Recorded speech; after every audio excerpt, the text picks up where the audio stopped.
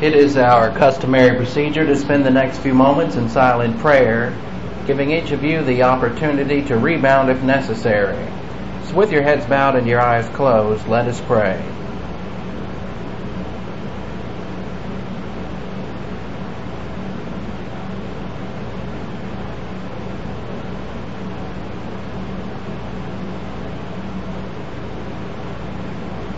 Father, we thank you for the wonderful privilege and opportunity of assembling ourselves together for the purpose of learning the Word of God. May God, the Holy Spirit, enlighten us concerning what we note. In Christ's name we ask it. Amen. Turning your Bibles to Galatians chapter 6, verse 11. Galatians 6:11. If I start glowing up here, it's not from the Spirit, it's from lightning. Galatians 6:11. Look now. That's actually how it should be translated. Says the apostle Paul, this is his final instructions to the Galatians and the benediction. This will wrap up Galatians. We'll wrap it up today. I hope. Look now with what large letters I have written. Now this is an epistolary aorist an epistolary aorist. That's E P I S T O L A R Y. Epistolary. And this describes as past tense what is present at the moment.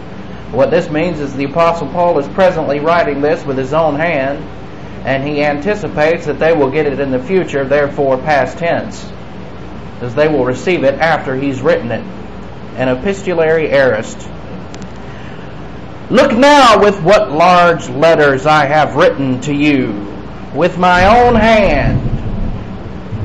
Now he was so upset with the legalist that he couldn't wait to write this down. He did not want to dictate it to someone. He didn't want to round up someone and say, Here, write down what I'm thinking. He just took a piece of paper and he started writing by himself right then. He didn't want to waste any time. He was so upset over what these legalists were doing to the Galatian church. And out of his pen came sarcasm and fire, as we've noted. So, why did he write with large letters? Well, because Paul's eyes were bad. He couldn't see, so he had to write with large letters in order to even see what he was writing and that was part of his handicap noted in Galatians 4:15. We went over that earlier. So the principle behind this is that Paul does have a handicap. He has eye trouble. And eye trouble usually makes people very miserable, very disenchanted. And if you can't see, you you usually go into a depression for a time, and it's understandable. But here's Paul with his handicap. He had been able to see up until this point, now he has some eye trouble. He picked up some eye disease on the way to Galatia. And there is no handicap in human life that can hinder one from executing the unique spiritual life, and that's the principle. There is no handicap that can hinder one from executing the unique spiritual life. In spite of all handicaps, Paul carries on in his ministry. And Paul had a lot of handicaps, not just the one of eye trouble. Paul had a high, squeaky voice. Paul was bald. Paul was short. Paul was fat, as uh, described in Acts of um, uh, the, uh, the, Acts, uh, a different Acts written by someone else, an extra bib- biblical source, but uh, probably pretty accurate. So Paul carries on with his ministry. So this very letter is a monument to a man who carries on in spite of a handicap. So what? He's handicapped.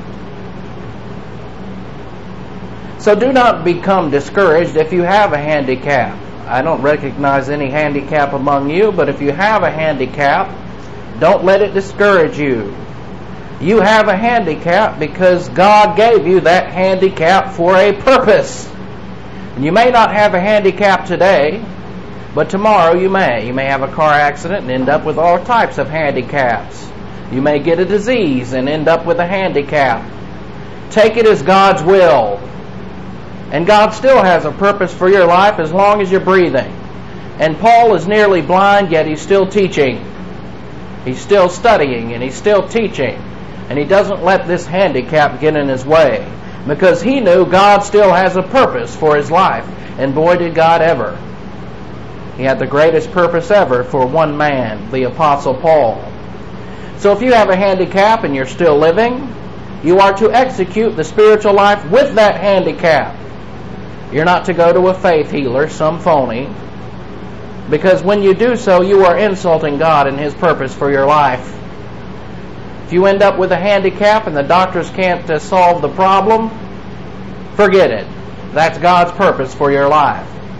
But if you do have a handicap and a doctor can help you out, definitely get helped out in that area.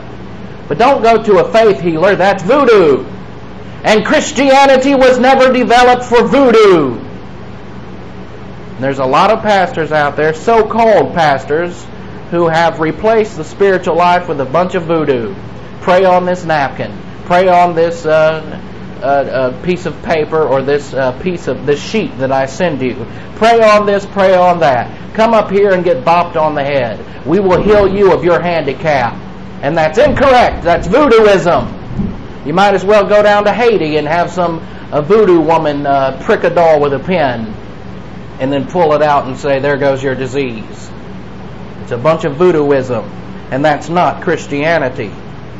Galatians 6:12 Those who desire now these this is referring back to the legalistic crowd of the Jews. Those who desire and this means from their emotions those who desire from their emotions to make a good showing in external matters keep compelling you to be circumcised only to avoid being persecuted persecuted for the cross of Christ. Let's first of all let's first of all start off with the first half of Galatians 6:12. Those legalistic Jews who desire from their emotions to make a good showing in external matters. What's that mean to make a good showing in external matters? This means that all of these legalists are playing spiritual king of the mountain. They want to be the king of the mountain. And what they would do is say, Well, now, how many of you have been circumcised today? Raise your hand or come forward. And a great number would raise their hand and come forward because they were duped into getting circumcised. And then they would say, Well, isn't this man great? Let him give a testimony about how he was circumcised. Then some man from the Galatian church would get up and give a testimony about how wonderful it was that he got circumcised. Not that he had believed in Christ, but that he had been circumcised. All of which evil, part of energy of the flesh. So they wanted to make a good impression in the flesh. And today uh, we would bring it down to uh, people would say to you, Well, how many people did you witness to today? And you would say, Well, I witnessed to 35. And then somebody else would stand up and give a testimony. Oh, yeah? Well, I witnessed to 50. Then somebody else would get up and lie and say, Well, I witnessed to 100. Everybody trying to play spiritual king of the mountain. And they even do that when they start giving. And uh, I've been to a church before, it's a so called church, not really a church, it's a place of blasphemy. And, they, and the, the pastor would get up and say, The Lord has laid it on my heart that we will receive $2,000 today. Now, how many of you want to give money? Raise your hand and state the amount. And they would go through, and one person would raise their hand and say, I give you 50 bucks. And the preacher would say, Good for you, brother. You've done a great thing. Then somebody else would raise their hand. Well, I'll give you a hundred. And then they start competing. And that's not spirituality. That's a bunch of nonsense. And the Lord laid it on him on his heart to get two thousand. He ended up with three thousand, but he had an answer for that too, of course. He said, Well, did the Lord lay it on your heart for two or three thousand? Which is it? Well, superabundance, amen, amen. So this very letter is a monument uh, to the fact that uh, Paul is against all of this junk. And the reason why churches put up on a board how many members showed up today. Went to one church once and they had to, well, one day there were 12, one day there were 5, and they would write it out every day. But what's that matter? You see, they're in competition and they want to make a good showing in the flesh. What's a good showing in the flesh? Friend Day. That's a good showing in the flesh. We get a lot of people in on Friend Day. We'll have a great showing of what? A bunch of flesh. A bunch of people who don't give anything any, they don't give a damn about the Word of God, but they do give a damn about social life, and so they come to this church, not this one, that one over there, on Friend Day. Why? A great showing of the flesh, and then after Friend Day, they'll brag about it. We had 5,000 members. We had a thousand new people show up. Amen, they'll say. Why? Well, they want to make a good showing in the flesh, and they're not making any showing to God. God is disgusted with that type of stuff.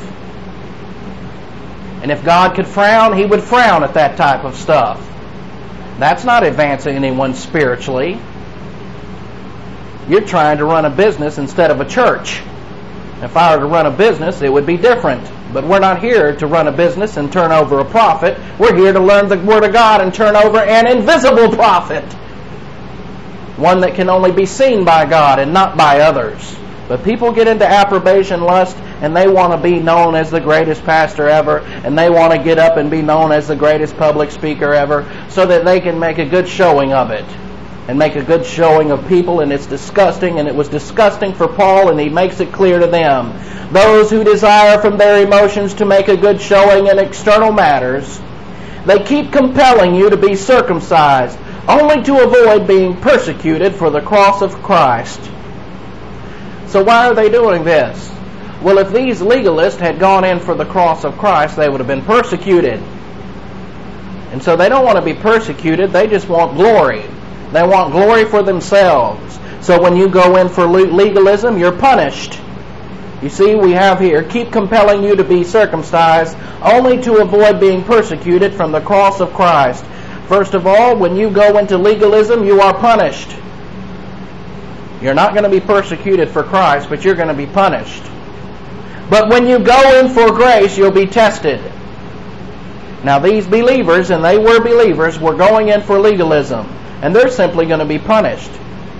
And they were trying to avoid the testing of having somebody say, well, all you did was believe in Christ, you got to do this, that, and the other. Now, if these men who had come down for Jerusalem had gone in for the grace message, they would have been persecuted by their own people, by their own church that they came from. But since they go in for legalism, they wish to avoid the criticism of legalism. And many pastors who know better hop around or tiptoe around or walk on eggshells around the Word of God because they are concerned about criticism. Forget it. You're not worth your salt as a pastor if you're concerned about criticism because you're always going to get it. There's no way around it. And besides, you're going to get it in a legalistic church too. If you're a legalist and you teach legalists, well, they're the best types of people to backbite you there's no way around uh, avoiding persecution, there, but there is a difference. If you're persecuted for the cross of Christ, it's testing. If you're persecuted on the basis of the fact that you're teaching legalism, it's for punishment. Either way, there's criticism. So let's get a principle out of this. A principle out of Galatians 6:12. Principle. If you live your life to avoid criticism from others, if you live your life to avoid criticism for, from others, you are not living your life as unto the Lord. Again, if you live your life to avoid criticism from others, you are not living your life as unto the Lord. You do not live a life based on principle. You're living a life based on what other people think. Why do young people dress just like all the other young people? They're going on someone else's thought pattern. And oftentimes that thought pattern is absolutely retarded. Wearing pants below the butt and showing your underwear is a sign of retardation. And I don't mean I don't mean IQ wise, I mean retardation in that they don't even they don't understand principle. They're just going to follow a fad that some rap artist made up who probably is retarded. Oh, he can rhyme here and there. That's the only thing he's ever did in his life. And so they follow this rap artist. That's where it came from, a rap artist. And they follow this rap artist into wearing pants down below the butt. How smart is that? It's stupid. But believers do the same thing. And when you go in for legalism because you're tired of the persecution you receive from your friends who are legalistic, you might as well just uh, jack your pants down below your butt and say, I'm retarded, and put a stamp right on your head. I'm retarded and follow what other people do. And this is what Paul is saying, and he's being this tough with them. If you live your life to avoid criticism from others, you're not living your life as unto the Lord. And I'll tell you right now, when I was in high school, I had my own form of dress. I even do today. And I did not dress uh, too dissimilar to the way I dress today. I did not follow the fad, did not care about the fad. Why? I lived a life based on principle. I lived a life based on the Word of God, and you can do it because David did it. Now, if you're going to live your life based on what other, others think, you're a loser. And if you're a young person and you decide you're just going to follow the crowd because it's the cool thing to do, you're a loser. Don't follow what's cool. You follow what God wants, not what people want. What people want is absolutely insane. You follow what God wants. Don't follow the cosmic system. And young people do the stupidest things just because they consider it cool. What for? Why do you want to be cool? It won't last long because soon you'll grow up and realize, well, wasn't that the stupidest stuff I ever did? But what you need to realize right now is you're, you're getting off on the wrong foot if you just follow what you think is cool.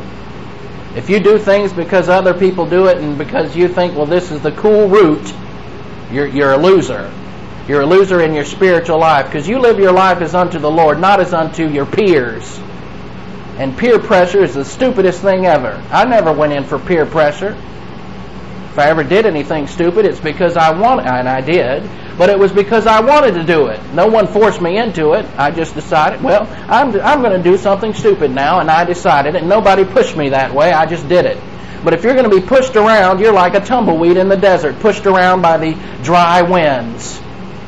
And wherever the wind blows, that's where you tumble. And then eventually you tumble into a forest fire out in the west and burn up, send face to face with death. Why? You never got with principle. And the Bible teaches us principle. And you need to live off of principles. Now, David, as a teenager, lived on principle. And if David could do it in the Old Testament with far less than what you have, you can sure do it. People get away with a lot of things when they're younger because of the fact that they're young. And people say, well, they're just young. They're, they're going to do stupid things, and it's true, and so are old people. But you don't get away with it. And David, as a teenager, lived on principle. In fact, David, as a teenager, lived on more principle than his father did, Jesse. Jesse was an idiot compared to his son, David.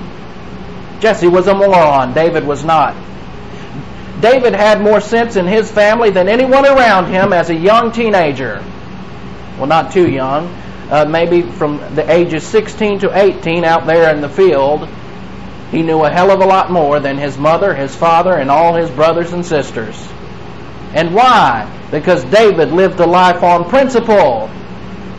And then when he was promoted, guess what? He was promoted into the castle. One day we'll study David, but not coming up. We're going to study Joseph on Sunday. And we'll study David at some point, maybe after Joseph. But David, one time, he got promoted. And he got to go to the castle. And in that castle, there were wild parties. Lots of drinking, lots of having fun, and lots of women everywhere. Now, David later on got dis- uh, distracted by that, but not as a young man. And there were a lot of parties, a lot of drinking, and a lot of young women. You know what he did? He took one look at living in that palace and he said, I don't like this at all. I'm going to separate myself from these people, and I'm going back to live with sheep. All of you want to ask your parents, can I go to this party and that party? Well, maybe not you, but many teenagers do that. Can I go to this party? Can I go to that party? What did David do? Well, guess what Jesse wanted David to do? Jesse wanted David to go to the party. And Jesse said, Yeah, man, that's the king. You go to that party. And Jesse said, You stay there with them and you'll get elevated. And he probably got pretty excited. And then when Jesse uh, probably saw David come home, Jesse probably looked at David and said, What an idiot. He was over there in the palace and he was about to get me some money and his whole family some money, and now he comes back here. Why did David go back to tend to the sheep? He didn't like that lifestyle. He didn't like the fast crowd. He didn't like doing what other people like to do. You know what he liked? Meditating on the Word of God. And the best place where he could do it was with a bunch of sheep. That's because they didn't bother him except when they went bad and went off course. The only time they bothered David. But during that time, he could meditate on the Word much better than having all those distractions of the drinking and the partying and all that other stuff that was going on in the palace. Now, David, of course, later slipped from this, but he had principle as a teenager, and so can you. And if David could have it as a teenager, you can definitely have it as an adult, especially with the unique spiritual life we've been given. So don't just follow people blindly. blindly. You're your own man. If you don't stand for something, you're going to fall for anything. And guess what you need to stand for? The Word of God. You need to stand on the rock. You need to stand on the Word of God. Don't go out and stand on the sand where everyone else is living and where you can get swept away by any type of uh, thing that comes along. It's not worth it. Galatians 6:13. Galatians 6:13. For those who are circumcised do not keep the law themselves Now, Paul was giving uh, to them something from a different direction. I just gave you the lascivious side of it. But Paul was giving them the legalistic side of it. And what was happening is all these Galatians were going in for legalism. They had followed grace, and they knew that they were saved by grace. But now suddenly they think, well, maybe I need to be saved by circumcision. Maybe I need to be spiritual by circumcision. Maybe I need to go back to the law. And this is what they were thinking. But then Paul comes out and says, For those who are circumcised do not keep the law themselves. He's saying, Look, these Jews don't even keep the law themselves. And you're following them. You're following a bunch of idiots who can't even keep the law themselves. But they want. And this want in the Greek is from emotion. They're, they're an emotional revolt of the soul, that is the legalist. But they want you to be circumcised so they may boast about your flesh. Now, what's happening here is all these legalists want to go back to Jerusalem and they want to brag about how many Gentiles got circumcised. They want to go back and say, when I was in uh, Galatia, all these Gentiles came forward. I counted 350 Gentiles who came forward and got circumcised right before my eyes. And they would all say, Hallelujah. What a bunch of nonsense. If people were doing that today, probably the law would come arrest them, and they probably should because they're nuts. But people in other churches who have people come forward for all different types of nefarious reasons, it's no different. You believe in Christ to be saved. Coming forward is, has nothing to do with it. So legalists boast about the flesh. This is a principle. Write this one down. Legalists boast about the flesh. That is how many people are at their church. That's what they boast about.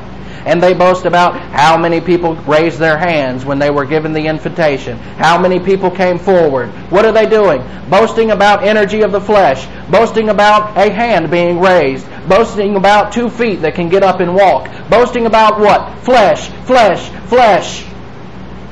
And that's worthless. So the principle, legalists boast about the flesh. The spiritual boast about grace. And how do you boast about grace? Very simple. You come into contact with an unbeliever and he shows interest in the Word and shows interest in the gospel. You don't boast about yourself, as I've heard many people do. And they've said, I've, I've witnessed this before. When I went to uh, a symphony camp up in Brevard, North Carolina, uh, there were some people out on the street, and I said, Well, I'm going to go over and see what these people have to say. And the guy was talking to an obvious unbeliever, but he wasn't giving the gospel, and the guy was obviously interested. But he didn't give the gospel. What did he say? He said, Once I was a young man like you, and I liked to look at pornography, which was something I didn't want to hear and something nobody needed to know. And then he said, But then I invited Christ into my life, and I don't care for pornography anymore. Liar! I bet he is a liar, too. He, he said that because he's thinking about it. He's just a liar. And that boy didn't get saved because of him. Now, he's a young man, and I didn't step in front of him because I knew something about authority. He was older than me, and I wasn't going to do it. If I had to do it all over again, I would have done it. So the fact is, uh, here was this guy all interested, and the only thing he could talk about is sin, sin, sin. It's nothing to do with sin. It has to do with the gospel. Believe in the Lord Jesus Christ, and you'll be saved. Then if after you're saved, you go home and look at pornography, you're still saved. So chew on that one. So legalists boast about the flesh. The spiritual boast about grace.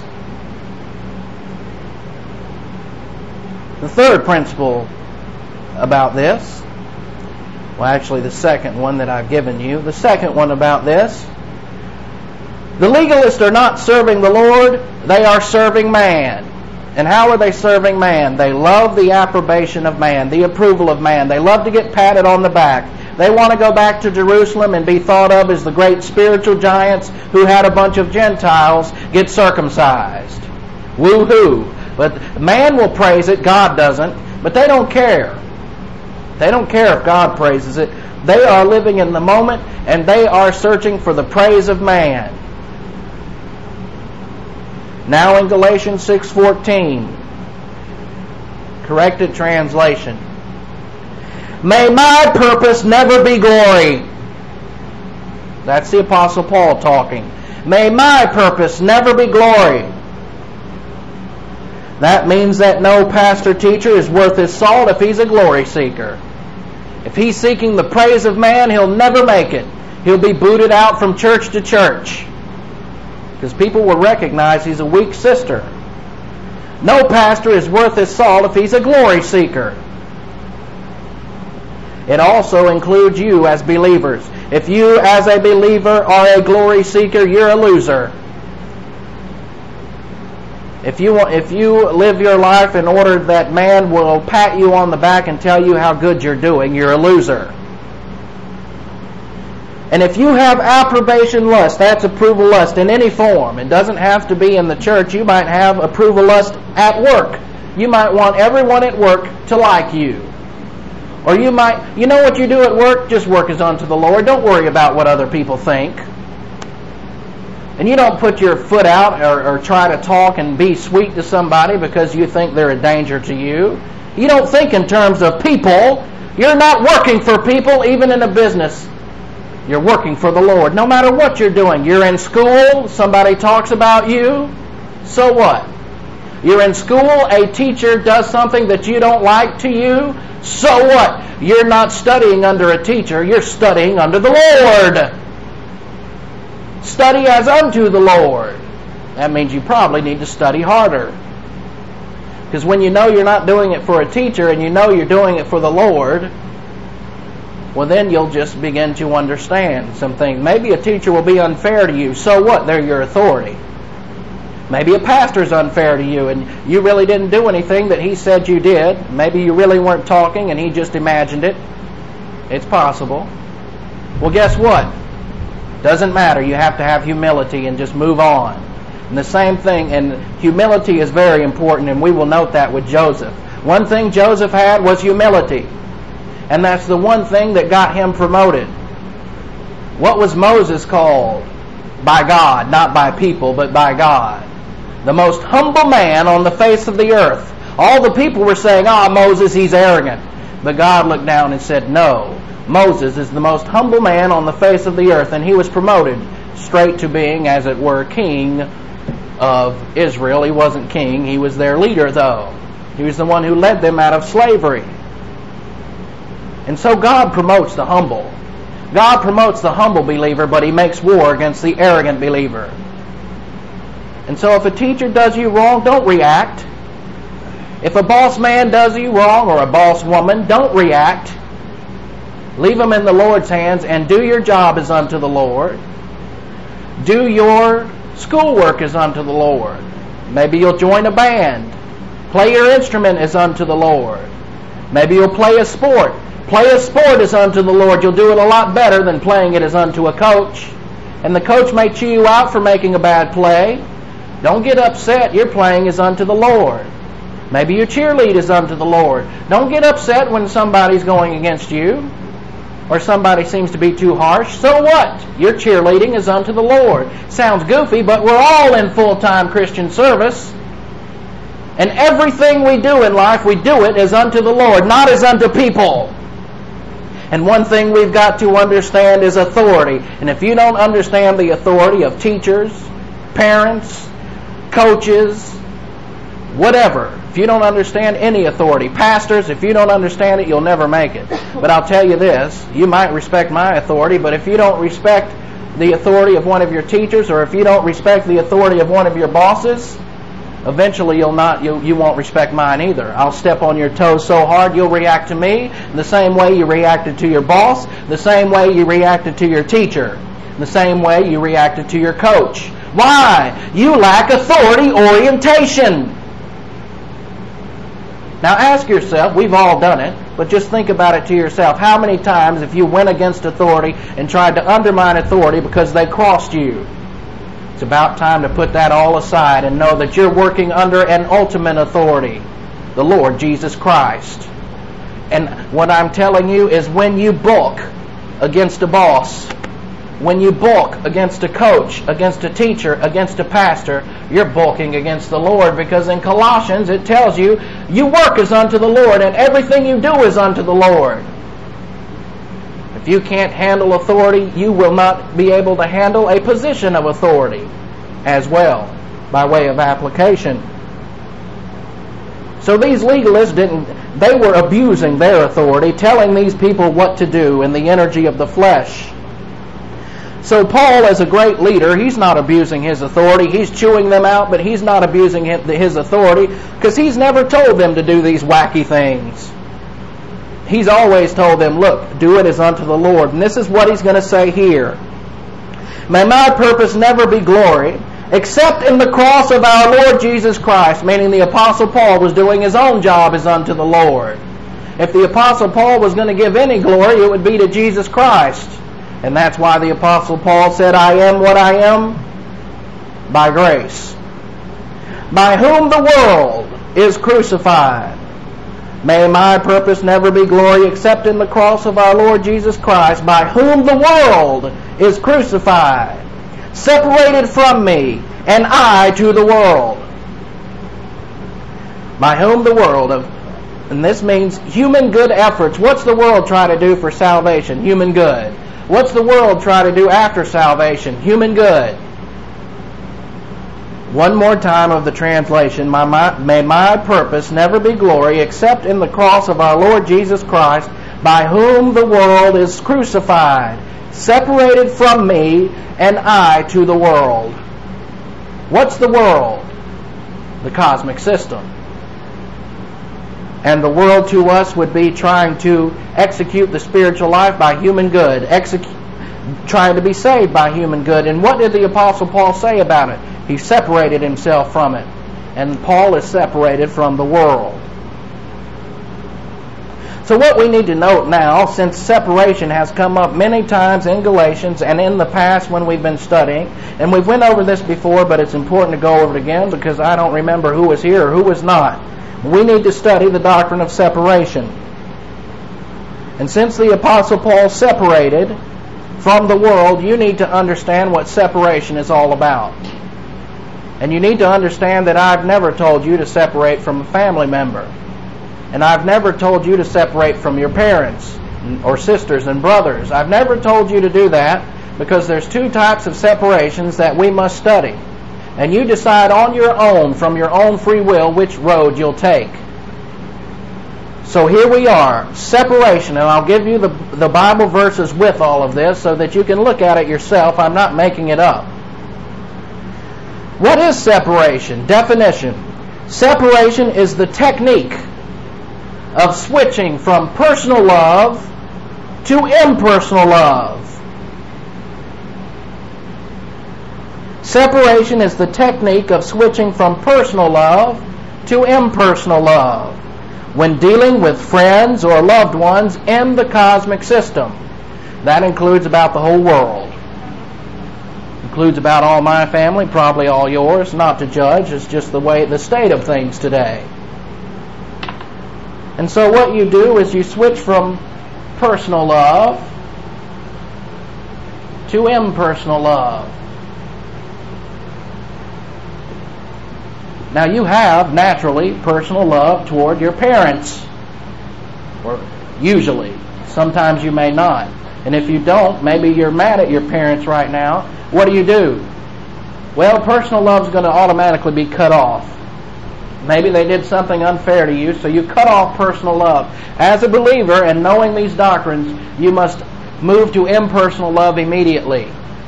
And love them not on the basis of their character, but on the basis of yours. And that's one example. But you might be all grown up. And maybe you have a fight with your parents. You're grown up now. What do you do? Instead of getting in a squabble and yelling and fighting with each other, switch to impersonal love and love them on the basis of your character and not theirs. That is a system of separation. Now, what do most people do? See, they mess up here. They don't understand impersonal love. So, when personal love fails, when somebody in your family does you wrong or you think they have, you switch to personal hate. And that is the only way that personal love and personal hate are connected. Maybe, uh, maybe your mother will say something mean to you, and I'm talking about adult. You're an adult woman, and your adult mother says something mean. Usually, what happens today is that daughter will go from personal love into reaction, and then personally hate her mother. And then, after a while, she will regret it and have a and feel sorry about it, and switch back to personal love. This is weak. And you go back and forth, back and forth, back and forth. What you really need to do is move from personal love. You've been done wrong by anybody, friends, loved ones, neighbors. Move to impersonal love. That's separation. It's a form of mental separation. It doesn't always, in fact, most times, it doesn't need to be a physical separation. Mental. It's all in your mind anyway. You can separate from somebody and they'll still get on your nerves a hundred miles away. Doesn't matter. I speak from experience. It happens. You could be a thousand miles away from somebody and they can still irritate you and get you out of fellowship. So it's a mental separation. Not to say that the physical separation doesn't help sometimes. It does. And we'll know that too. So I've never told you to physically separate. That's a choice you make on your own. But there must be a mental separation. There must be. There are certain instances where there must be a physical separation, which we will know. So this doctrine involves both establishing the correct priorities of life in order to have mental separation. The only way you're ever going to understand with whom to have a mental separation is to first of all have your priorities straight. Make sure your number one priority is Bible doctrine. If your number one priority is Bible doctrine, then you can start making these decisions. But until then, don't even bother because you're probably floundering in the cosmic system with them. In fact, you are if Bible doctrine is not number one. Separation is actually the perception of doctrine by which one establishes his priorities in life. You establish your own priorities in life. And the very fact that you're here tonight and listening to the Word of God, it separates you from the, everyone else who doesn't care. You're already separated mentally. And while they may be at home making fun of you or talking about you because you're sitting here in this small group, so what? That's not the issue anyway. And you're you're separating yourself from what by sitting here if you're filled with the Spirit? You're separating yourself from the cosmic system. So the application of doctrine is by which one separates or dissociates himself with any hindrance to momentum from friends or loved ones. Friends and loved ones can hold you back.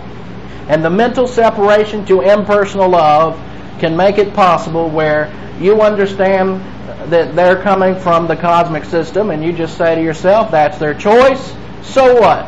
I mentally separate Doesn't mean you can't have a relationship with them or eat chicken with them or anything else.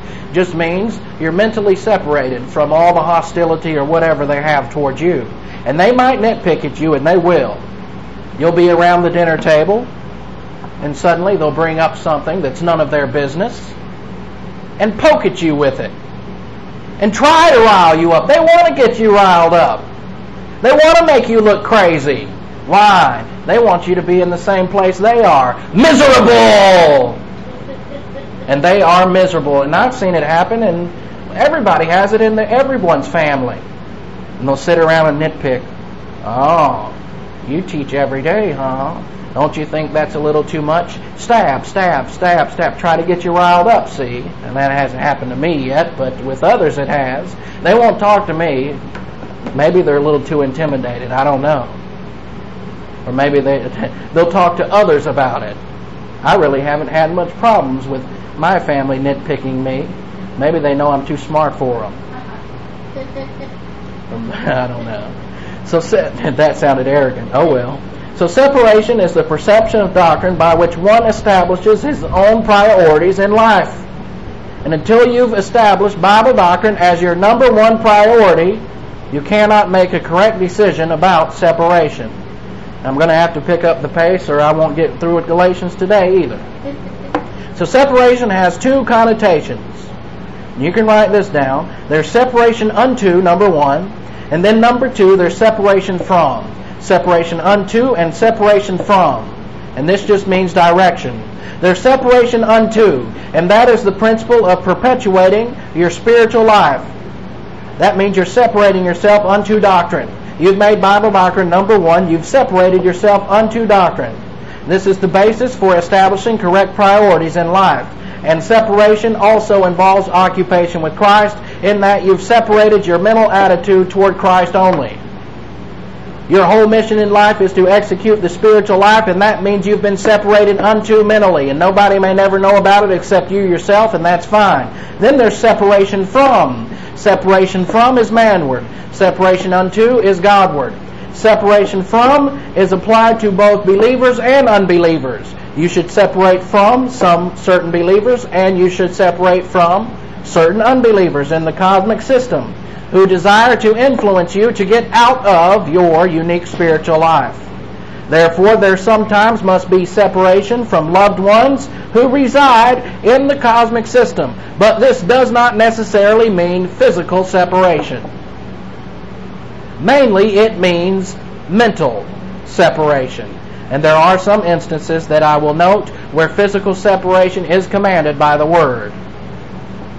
So there are two categories of separation from people. Number one, mental separation, and we'll get a description of this.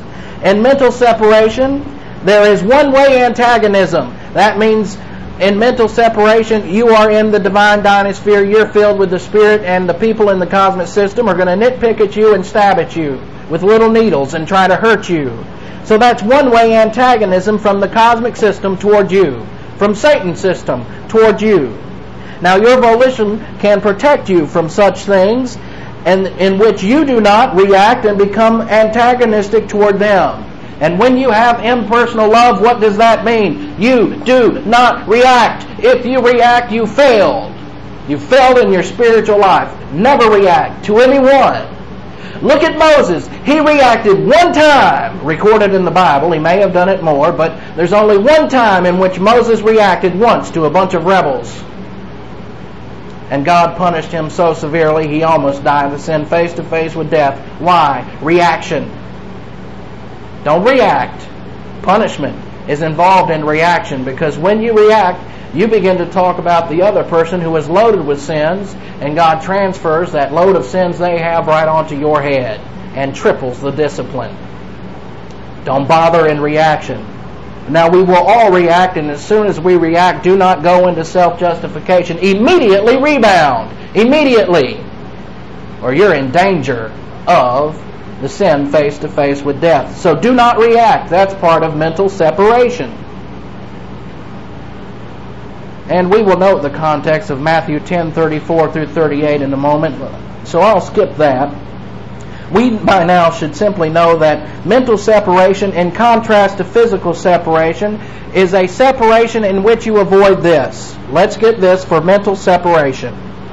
Then we'll move to what physical separation is and the categories that allow physical separation. Mental separation, in contrast to physical separation, is therefore a separation that avoids maligning. That is to verbalize some things that hurt others. Words that are designed to hurt others. Mental separation, in contrast to physical separation, is therefore a separation that avoids maligning, judging, hating, criticizing, seeking revenge, hurting those with whom you've been intimate in the past. That doesn't mean sexually intimate. There's intimate relationship between parents and children, brothers and sisters, friends.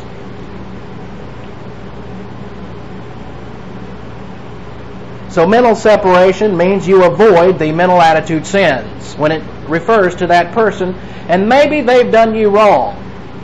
In fact, they have. And they've talked about you, and they've maligned you, and they've had revenge against you. The best way to deal with it is not react and move to impersonal love, and therefore you've had a mental separation and they don't have a leg to stand on. And if they think they still have a leg to stand on after you move to impersonal love, God will squish them like a uh, like grapes, like the Israelite women do with grapes when they're making wine. God will smush you. If God will smush the one who, because if you move from personal love to impersonal love with this person and they continuously attack you, you, as it were, have left it in the Supreme Court of Heaven, and it's open 24 hours a day, 7 days a week, 365 days a year, and He will smash that person into little bits, if not, kill them. You see, revenge is mine, saith the Lord, I will repay. Don't seek revenge on your own. You're only stepping in the way of God. You're actually being arrogant. When you seek revenge on your own, you are displaying the greatest arrogance ever by saying, God, step out of the way. I'll handle this situation. And God says, Oh, you think you will, do you? And then you get a spanking along with everyone else. So mental separation not only emphasizes integrity and honor, but perpetuates modus operandi inside your unique spiritual life and therefore avoids distractions. You're always going to have distractions no matter where you move. You might move to Alaska where nobody's around you. You might be listening to a tape and you hear a bear scratch at your door. Then you get pissed off at the bear and angry it's, it's, it's, it's, it's not a person, but you're still angry. You can't even get angry toward animals. Now, you can blow them away, but you blow them away with impersonal love. Take that gun barrel, just the way it is in war. If you go to war, you blow away the enemy with impersonal love. You don't have any feelings of hatred toward the enemy. You just you're a professional fighter, and the greatest professional fighters are believers. Why? Because they can have impersonal love and that enemy's been shooting at you and they've been killing your friends, and you don't go off into hatred because your friends have laid there dead. They're doing a job like you are. So what do you do? You impersonally love the enemy and blow his head off. That's a principle. It sounds crazy, but it's a principle of warfare because it's part of the Bible that we should protect our freedom. And you don't have any feelings of hatred toward the man you're blowing away.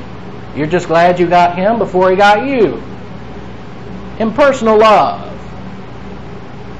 And that's the way it is in uh, warfare, and but not the way it is for us in living in peace over here for now. So let's look at physical separation. There are a few cases where switching from personal love to impersonal love will not work, but just a few. For example, you receive false information from a local church you must physically leave that church. You can't hang around that church. A church that gives false doctrine, you must physically leave. But when you leave, leave with the concept of impersonal love. Don't leave in hatred. And you must physically leave them because they'll distract you. And when you leave, walk out of that church with your mouth zipped and go on to wherever you want to go. And you have to leave with impersonal love. If you leave and you get hate and you have hatred about it and you're leaving just because you're mad, well you're out of fellowship. And you'll justify it. You'll say, well, they don't teach the word, but you're still supposed to leave with impersonal love. You, with by your own choice, sat in that church, and you, by your own choice, can get up and walk out. It's kind of like television. They don't make you watch one channel. If you're getting mad at a channel, why sit there and watch it? Although we all do that if we're watching the news or something. Some idiot's on there talking about uh, the war or something else, and you don't agree with it, and you get mad at him, and you keep on watching him. What for? Waste of time. He can't hear you anyway, yelling at the TV. I've done it, but he can't hear me. A second reason for leaving. When a woman is used by a punching bag by her husband, she should separate. And the reason is very clear. When a woman is used as a punching bag by her husband, she should separate. Leave. Get out. And the most basic reason is to avoid the compromise of doctrine in your soul. Because here's this man in authority and he's brutalized you.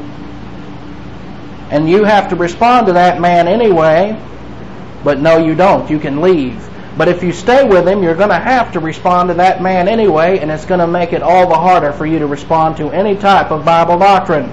Because if a woman is beaten by a husband she must respond to, it will make it nearly impossible for her to respond to any authority of doctrine. Because she'll associate the pastor with her husband beating her.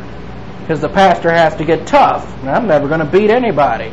Pastor's not to be a striker of persons. I never will be unless I'm struck first. That's just self-defense. But it becomes nearly impossible for a woman to respond to the authority of doctrine unless she separates from a brutal, vicious, evil husband as that. Any man who beats on a woman is brutal, vicious, and evil. Absolutely. One of the most basic things I learned as a child do not hit a woman. Physical separation means to avoid any personal contact with a person under any circumstances. That means if you decide to have physical separation with someone, they're dead to you. They better be dead to you. That means never again. The line is separated and they are dead and they might as well be dead. So when you make that choice, make sure you know in your mind that that person's dead to you. Same with divorce. If you get a divorce, make sure the person you divorced is dead to you. Don't go crawling back. It's not going to work. So this separation means severance of all relation with that person of any kind. All relations, severance. Physical separ- separation is sometimes needed to maintain one's priorities and to use one's volition to remain inside the unique spiritual life. And usually the physical separation is related to those under authority and not to those in authority, because those under authority, maybe your husband will become a bully and say, don't go to that church anymore, that's none of his business. Don't go to church and don't learn doctrine. Many husbands have done that. They've gotten jealous of the, doctrinal teacher and said, don't go there anymore. That requires a physical separation because doctrine's more important. It does not allow you to get remarried, however, not in that case. And we've studied that before. And in the case of getting beaten, it does not allow you remarriage. It just allows you regular divorce. And you cannot get remarried and, until that guy goes off and gets married himself. And then if he does, he's broken the bond and you're free. So physical separation is to keep one's priorities straight. The only reason you should ever physically separate from anyone is so that you can keep your priorities straight. And when it can be done mentally, do it. But when it comes to positions of authority, like separating from a pastor teacher that you don't like, separate and don't say a word about it. So the principle is this. In most cases, the separation should be merely a mental separation. In most cases, the separation should be merely a mental separation. However, in cases where violence is involved, in cases where violence is involved, there should be total physical separation. And believers get involved in violence. I'm well aware of that. All of us at some point have been involved in violence, whether as a child or as an adult. And when you get violently involved with a friend, violently involved with uh, your family, well, then it's time for physical separation. There's no place for violence in the spiritual life. So, in the case where violence is involved, there should be total physical separation. Now, if you're beaten as a child, and I mean beaten, I don't mean spanking, I mean if you're beaten, bloody, and you have bones broken, etc., you've got a whole different problem on your hands that relates to child abuse, which we've studied before. And in that case, there's a whole different set of rules that uh, I'm not going to go into. It'd take too long. So let's look at some scripture of separation. We might just have to carry on till Sunday, or maybe I can finish quick enough here. I'll just go over these scriptures. You can turn there if you're fast. If you can, if you have a fast finger, go ahead. 2 Timothy 3 5. They that's believers and unbelievers in the cosmic system. They hold to external forms of godliness, but have renounced the power of that same godliness, referring to the spiritual life. You also be turning yourself away from these men. Turn yourselves away mentally. That means don't go to the church where they're teaching false doctrine. 2 Thessalonians 3 6. Now we command you, brethren, believers, in the name of the Lord Jesus Christ, that you separate from every believer who leads an undisciplined life. That means separate from every believer who does not take in the Word of God consistently. Not physically. If we were to physically separate from every believer that did that, we'd be the only people talking to each other. It's mental separation. Now, and that, that second uh, Thessalonians 3 6, now we commend you, brethren, in the name of the Lord Jesus Christ, that you separate from every believer who lives an undisciplined life, no momentum in the spiritual life, that is not according to the tradition you have received from us. The, tr- the tradition received from Paul was daily Bible study. 2 Thessalonians 3.14. If anyone does not, oh, 2 Thessalonians 3.14. If anyone does not obey our doctrinal teaching in this epistle, take special note of that person and do not associate with him, so that he may be put to shame. And that is not by you, he'll be put to shame at the Bema. And separate from such a people who do not uh, take interest in doctrinal teaching mentally. Again, physical separation deals with violence and with churches. And that's it. Romans 16, 17 through 18. Now I urge you, royal family, to keep your eyes on those who create dissensions and occasions for stumblings contrary to the doctrine that you learned. In fact, avoid them. For such are slaves, not to our Lord Christ, that was just like the Galatians, not slaves to Jesus Christ, but slaves to a bunch of legalistic rules, but their emotions. By their smooth talk and flattery, flattery they deceive the stupid. The stupid lack Bible doctrine, that's why they're deceived. And you must have mental separation in order that you do not become stupid. And sometimes, in very critical cases, such as being in a church that does not teach doctrine, physical separation. And not one foot in a legalistic church and one foot in a grace church. Both feet in one or the other. And we study that in Galatians. So turn away from them in Romans 16, 17 through 18 is actual physical separation from troublemakers, oftentimes who become violent. Separation is necessary because of the cosmic system. Romans 12.1 through 12.3. Romans 12.1 through 12.3, separation is necessary because of the cosmic system. Therefore I exhort you, brothers and sisters, by the mercies of God, to present your bodies as a sacrifice, alive, holy, and pleasing to God. That's referring to rebound, which is your reasonable service. Stop being conformed to this world, the arrogant skills, but be transformed by the renovation of your thought through the spiritual skills, that you may prove what the will of God is, the divine good production the well pleasing, that is to fulfill the unique spiritual life, the well pleasing to God and the mature status quo. For I say, through the grace which has been given to me to everyone who is among you, stop thinking of self in terms of arrogance beyond what you ought to think. When you move into personal hatred, you're arrogant. And you're thinking beyond what you ought to think because you think you have a right to hate, to be mad. But think in terms of sanity for the purpose of being rational without illusion, as God has assigned to each believer a standard of thinking from doctrine. So if you fail in the matter of separation, you will think of self in terms of arrogance. Now we also have separation from unbelievers, 2 Corinthians 6:14, and this deals with marriage along with business. Separation from unbelievers in marriage as well as business. That is, do not take a business partner who is an unbeliever, that is, sharing halves in your company. Do not become partners with those who do not believe. For what partnership is there between righteousness and lawlessness? You ladies run into a handsome young man who's an unbeliever, and you're a believer, even a carnal believer, you still have no relationship with lawlessness. Or what fellowship does light have with darkness? None. And what agreement does Christ have with Beliar, dealing with uh, the gods of the old?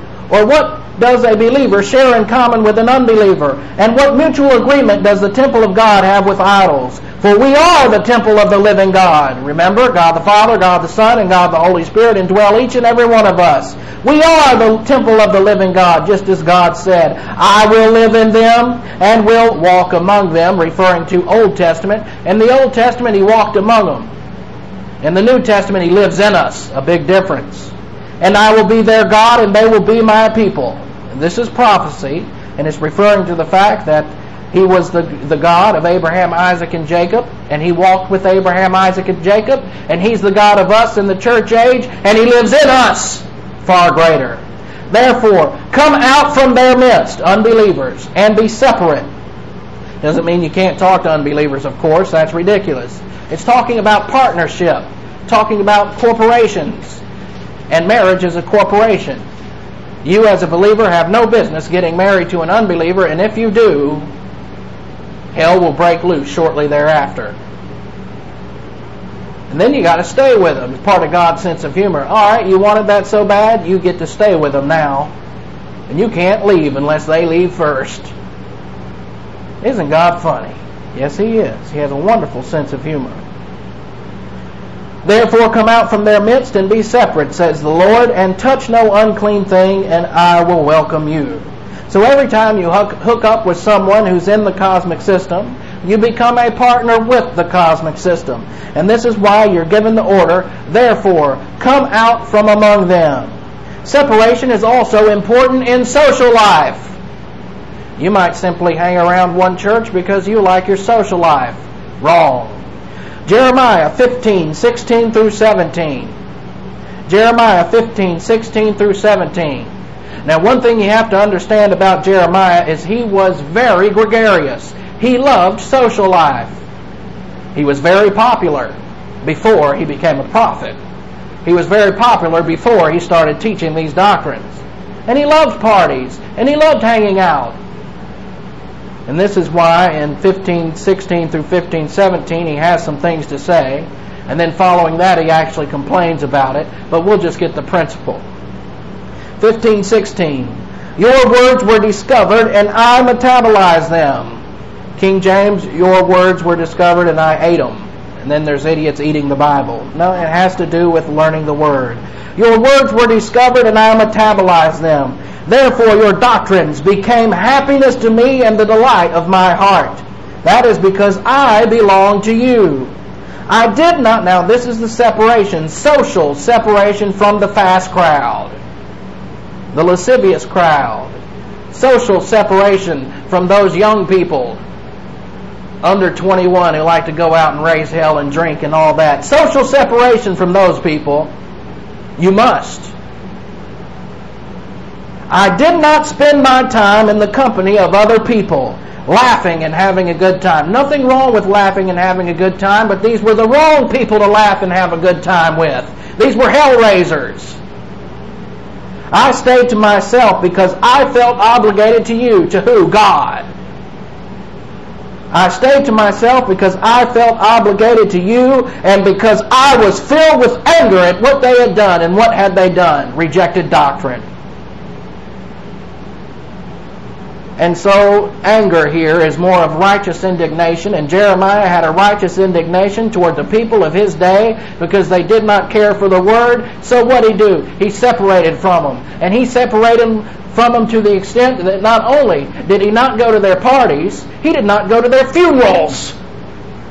And people said, oh, that Jeremiah, he's really insulting us. He tells us our country's going over, going under, and now he doesn't even have the decency to come to a funeral with us when my father's died. And I remember I used to hang out with Jeremiah. Now he's not here anymore. And why is he not here? He's separated from you people who are soon going to go under the fifth cycle of discipline. And he should have. And it saved him a lot of heartache to do it before the fifth cycle.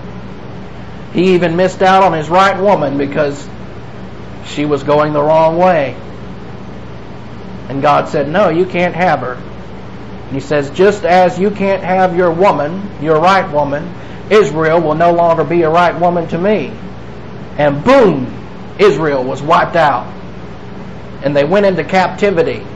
And people thought so much of social life, and they thought so much of the protocol of going to funerals, of doing this, that, and the other, and following protocol and they were out of line. They should have been following Jeremiah and doctrine. And if they had followed Jeremiah and doctrine, he would have went to their funerals. And he would have had a social life with them. But he was not going to mess with a bunch of losers. And if you mess with losers, you'll become a loser yourself. And Jeremiah understood it as much as he did not like doing this. And he even mentions it in the following verses if you ever want to look them up. Jeremiah 15, 16 through 17, 18 and following, he starts to complain to God. That's because he went into reversionism for a moment and got right back out of it. So the believer is to separate from a superficial social life. That is a social life in which you're running with the fun crowd, the party crowd, the ones who like to raise hell, get drunk, do drugs. Separate from them people. And if you do not, you're on the wrong track and you will be a loser. The party crowd always has a false scale of values. So the believers to separate from the fast crowd. So that's part of that. And we know Matthew 10 34 through 38. Turn there and then we'll finish up with Galatians. Matthew 10 34 through 38, dealing with separation. And I like this one because it's our Lord Jesus Christ stating it himself. The letters will be in red. You don't like the black and white letters? Well, here's red, or black letters. Well, here's red. Here's our Lord Jesus Christ Himself, the sweet Lord Jesus Christ.